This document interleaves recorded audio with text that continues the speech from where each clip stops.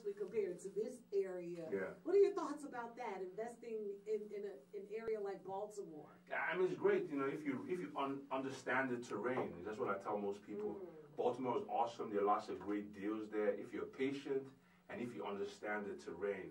So if you never lived in Baltimore and you're trying to to purchase a home in Baltimore and you just you just need to know or you need to work with a real estate agent that's familiar with the city and where you could buy or where you know there's potential growth and things like that.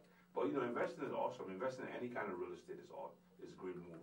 And that's that's great that you said that. Again, reach out to Eze 301-559-2872.